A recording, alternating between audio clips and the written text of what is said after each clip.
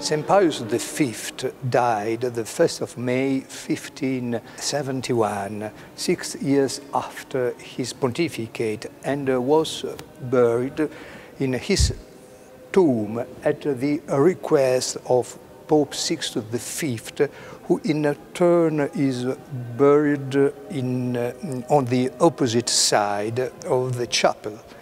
Pius V was canonized by Pope Clement XI on May the 22nd, 1712.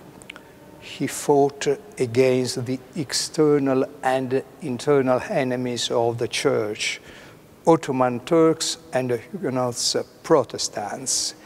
This year is also the 450th anniversary of the great victory of Lepanto, which took place on October the 7th, 1571. On uh, his uh, tomb, we see some of the important uh, episodes of his struggle.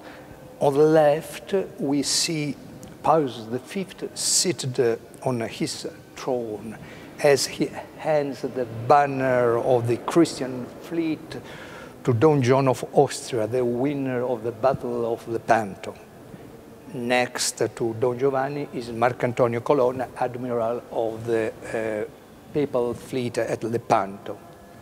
On the right, uh, we see him handing the captain's staff to the Count of Santa Fiora, victor over the Huguenots in France.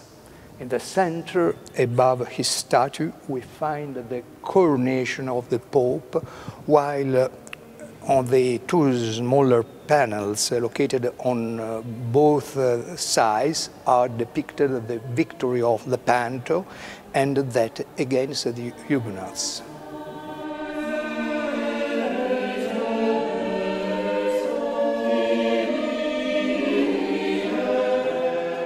This is the chapel of the Lepanto Foundation. The image of St. Pius the V accompanies us every day. Michele Ghislieri was a resolute uh, and uh, combative pontiff, but the secret behind his battles and victories lies in the spiritual weapons he used, which begins with the Holy Rosary. The institution of the Feast of Our Lady of Victories, also known as our Lady of Rosary, and the introduction into the Litany of Loreto of the Marian title of Auxilium Christianorum was the last relevant uh, action of his pontificate. Now he is in heaven and uh, protests us in our struggle against the external and internal enemies of the Church.